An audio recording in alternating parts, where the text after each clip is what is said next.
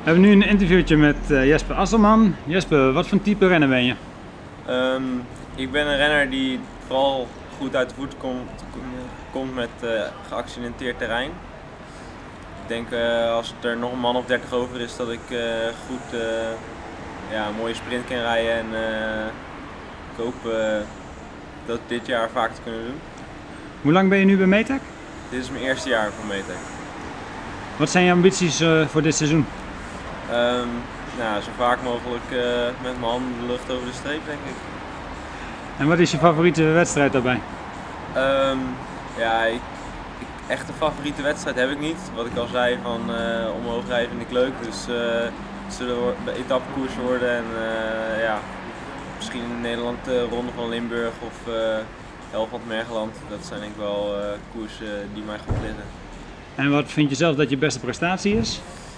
Um, ja, ik vind uh, dat ik die eigenlijk nog moet behalen en uh, ik hoop dat dit jaar te doen.